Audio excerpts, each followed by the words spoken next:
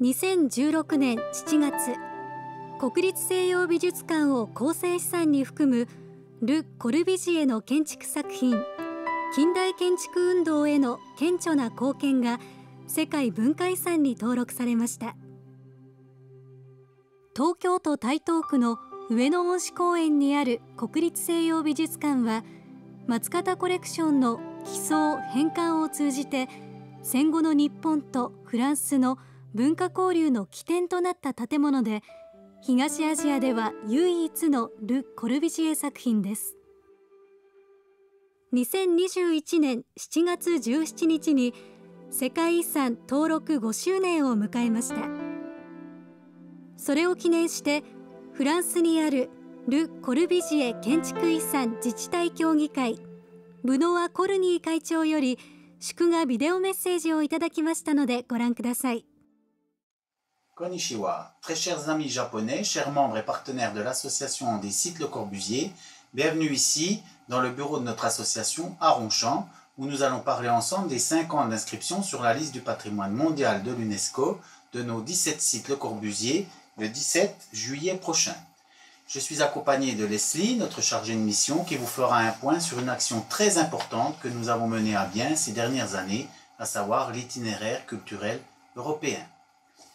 C'est avec une énorme émotion et beaucoup de fierté que je me joins à Antoine Picon, le président de la Fondation Le Corbusier, pour vous livrer ces quelques pensées à l'occasion de ce cinquième anniversaire de l'inscription de l'œuvre architecturale de Le Corbusier sur la liste du patrimoine mondial de l'UNESCO. J'ai également une pensée émue et très particulière pour mes amis de l'Extrême-Orient, le président Ishiyama et monsieur le maire de Taito, monsieur Hattori, que je connais bien et qui m'ont accueilli avec un très grand bonheur à Tokyo. Ils ont toujours fait preuve d'une extrême gentillesse à mon égard. Je leur en suis très reconnaissant et leur fais part de ma profonde sympathie en ce jour spécial. L'histoire de cette aventure passionnante est riche, mais elle est loin d'avoir été un long fleuve tranquille. Cette belle inscription a dû se mériter. Après plus de dix ans de travail et de concertation, l'œuvre architecturale de Le Corbusier, une contribution exceptionnelle au mouvement moderne, a enfin été inscrite sur la liste du patrimoine mondial de l'UNESCO le 17 juillet 2016, ce qui fera donc 5 ans le 17 juillet prochain. Choisie parmi l'œuvre architecturale très dense de Le Corbusier, cette série transnationale est composée de 17 sites répartis sur 7 pays et 3 continents.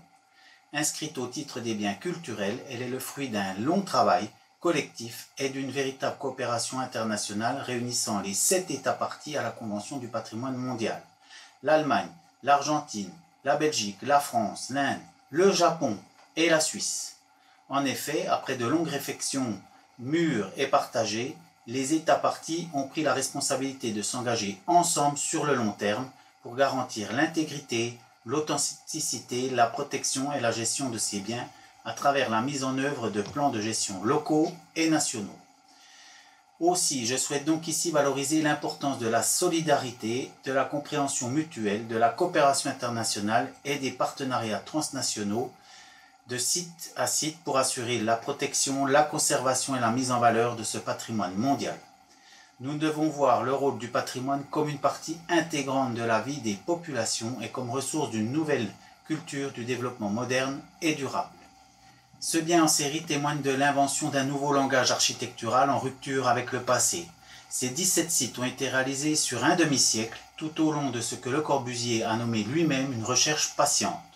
Le Musée national des beaux-arts de l'Occident, à Tokyo, que j'ai eu la chance de visiter, le complexe du Capitole à Chandigarh en Inde, la maison du docteur Curuchet à La Plata en Argentine, ou encore la chapelle Notre-Dame du Haut à Ronchamp, reflètent les solutions exceptionnelles que le mouvement moderne a cherché à apporter au cours du XXe siècle aux enjeux de renouvellement des techniques architecturales afin de répondre aux besoins de la société.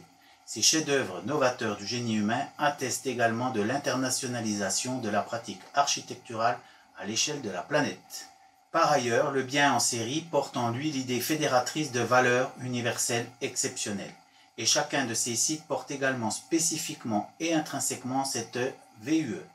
Ce qui fait toute la force de cette série, c'est que ces 17 sites apportent ensemble une réponse exceptionnelle à certains enjeux fondamentaux de l'architecture et de la société du XXe siècle. C'est cette VUE spécifique par site que chaque expert tentera de résumer dans les courtes vidéos qui seront diffusées sur les réseaux sociaux en juillet. L'ampleur de la tâche pour justifier cette inscription n'a donc pas découragé les multiples acteurs, bien au contraire. Les efforts ont été fournis sans relâche par les différents intervenants de ce dossier. Ministère de la Culture, Fondation Le Corbusier, son président Antoine Picon et ses présidents antérieurs, ministère des États partis, experts, délégation UNESCO et bien sûr l'association des sites Le Corbusier que j'ai l'honneur et le plaisir de présider en ce moment historique. L'abnégation et l'esprit d'équipe ont ainsi été payants pour cette étape qui fut loin d'être un aboutissement. Depuis 2016, l'ensemble des sites œuvrent avec passion pour valoriser ce patrimoine devenu mondial, pour protéger et le léguer à nos héritiers dans les meilleures conditions pour qu'ils en fassent de même. Il me semble aussi important de souligner que ces bâtiments ont pour la plupart gardé leur fonctionnalité et que tous ne cessent d'être habités, utilisés et visités aujourd'hui. C'est donc un patrimoine bien vivant. Dans la poursuite de ses missions transversales, trois ans plus tard, en 2019, l'itinéraire culturel Destination Le Corbusier Promenade architecturale, géré par notre association en partenariat avec la Fondation Le Corbusier et nos adhérents, a également connu un succès complémentaire en étant reconnu comme itinéraire culturel du Conseil de l'Europe par les membres de l'accord partiel élargi sur les itinéraires culturels. Réunissant à la fois des sites inscrits et non inscrits sur la liste du patrimoine mondial, et aussi des sites européens et extra-européens dont le Japon, cet itinéraire se veut plus que jamais fédérateur et porteur d'initiatives nouvelles. Notre association compte donc chaque année toujours plus d'adhérents désireux de participer à la valorisation commune de Le Corbusier. Elle est et restera toujours ouverte et à l'écoute. Je vous présente ici le diplôme de certification au titre des itinéraires culturels du Conseil de l'Europe. Et dans le cadre des actions menées pour valoriser cet itinéraire, nous avons entre autres réalisé un carnet de croquis Moleskine comprenant plusieurs croquis de Le Corbusier dispersés dans le carnet. Et nous avons bien évidemment intégré un croquis du Musée national des beaux-arts de l'Occident. À travers ce produit, nous souhaitons inciter les visiteurs à parcourir l'ensemble des sites. Enfin, la crise sanitaire que nous traversons nous rappelle combien nous avons besoin de liens nationaux et transnationaux pour entretenir nos enrichissements et compréhensions mutuelles.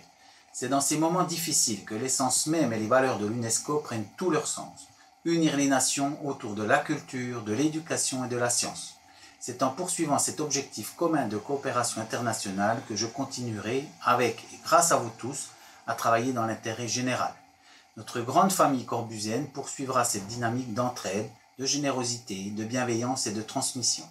Quand la situation nous le permettra à nouveau, nous vous accueillerons tous avec un très grand plaisir à Ronchamp et sur les autres sites, et je me réjouis d'ores et déjà de pouvoir partager des moments amicaux avec vous tous. Sayonara.